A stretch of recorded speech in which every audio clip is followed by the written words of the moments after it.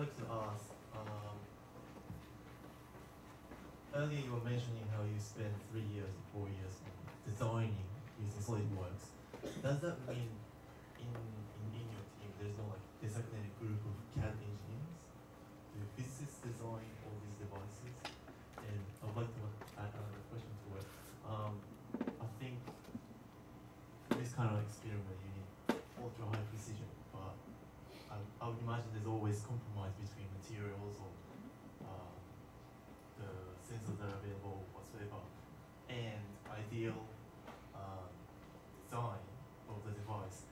Has there been any compromise that you have to make and that would have that would possibly affect precision of the data? Yeah, yeah, it is exactly because of these complicated trade-offs that um, it takes a physicist to design it, um, not a professional engineer. Not to say anything bad about professional engineering, but um, you know, you can't just say, oh, I'm gonna do microwave background and measure 10 to the minus seven, and these are the specs. Now bid for it. You have no bid. Okay. Um, you have to strip it down to the level of, I'm gonna produce a tank with this shape in SolidWorks. Now bid for it. Then you get a few bids. Um, and it, it is exactly because of these complicated compromises. For example, I talked about rejecting most of the 100 watts of radiation that comes through the window. What's wrong with using an aluminum plate, which rejects 99, you know, 100% of that radiation, but it's also opaque uh, in microwave. Okay, so these things, you know, you just have to find the right materials uh, to be able to experiment, and you have to know the mechanical thermal properties, and as well as um, microwave properties.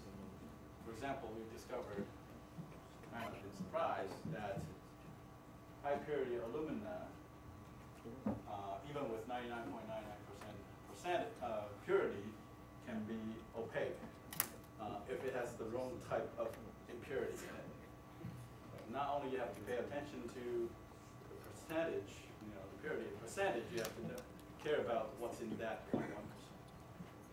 If you have, uh, it turns out, potassium oxide or ferric oxide, then you know it becomes opaque. Even it only you know consists of you know 0.1 of such you know trace amount of uh, you know all of a sudden you need to know chemistry, you need to know thermal. And you don't, you don't need to know any of that if you're a string theorist.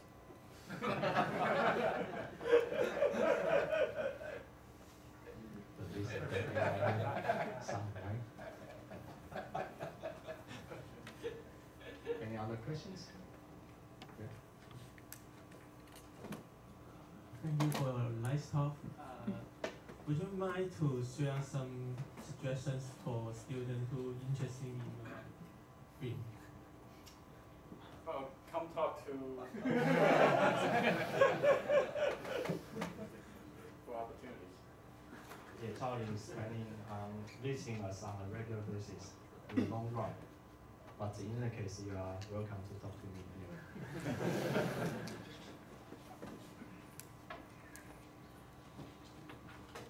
Any other questions?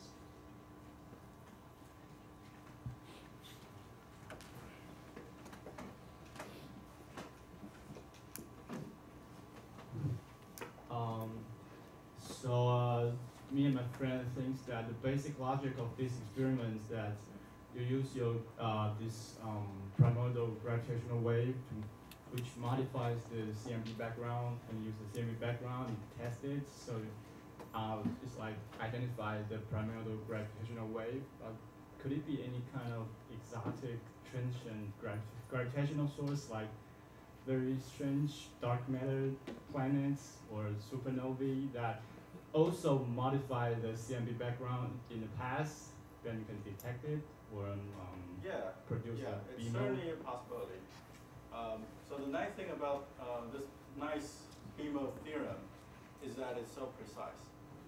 So if you just inject something else, it'll show up in B-modes.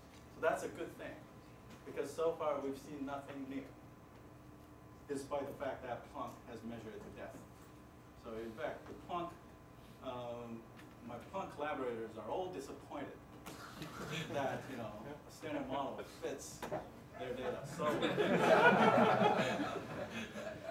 so the fact that, you know, you know, any kind of disturbances can create B-mode is a good thing. That means, you know, it's, it's a very clean system that any, that, that's potential for, uh, for look- looking for unusual physics uh, beyond standard model. So it's a good thing that uh, any kind of contaminant will show up in I guess your worry is whether that, those kind of uh, foregrounds can, can confuse the data. Um, I mean, actually, I want to ask: Is it possible to collaborate BICEP and LIGO, or maybe experiment like that to you know um, identify some source or some uh, some kind of gravitational source at the same time, or um, I don't know. So remember, the wavelength that we were talking about is billions of light years. Yeah. Okay. So LIGO was only built a few years ago.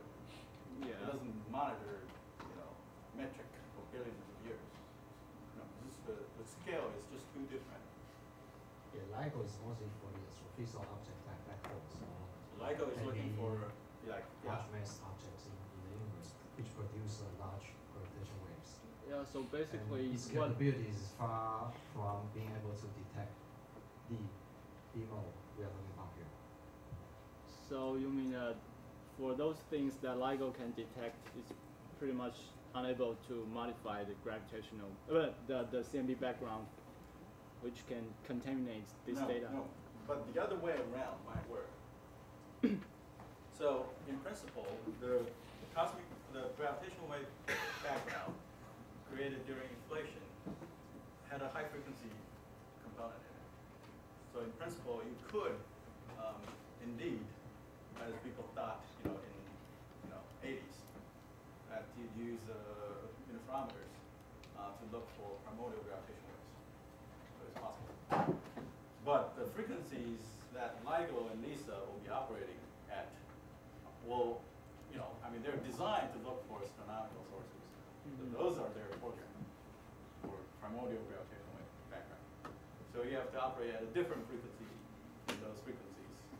And to be honest, I don't know what that frequency would be. Um, perhaps at higher frequency or lower frequency than uh, a few hertz that uh, that LIGO uh, But, but it's possible people talk about it, but it's like um, it's like you know a very hard project for your grandchildren or something. Sorry, there's one last question. Before LHC was turned on, then it, it- they were supposed, if we don't see Higgs, it's also a victory. Is there any the same scenario? No, Like not think- seeing R is also a victory. No, I think it's a major result. Still, if we don't see any R above our uh, above our point oh one, I think it's still a major result. Um, but it's not as huge as uh, real detection, uh, because in addition to its distinguishing models, I still think you know if you detect R, um, you know, significantly, you, you, you provide strong evidence. Yes. So there are these two things. If you don't see it, you know, those other models will still survive and, you know, you ruled out, you know, uh, axion, monodromy, and m squared, phi squared, that's still a big achievement, but it's not as exciting as uh, seeing the smoking gun of inflation. Well, we all hope, for the best, but, uh, Yeah, but we can't control it. It's been determined. Long time ago. Any more questions? From the back, maybe, I don't know. No? Okay, so if not, then, uh, let's, uh, thank, uh, Charlie again, yeah.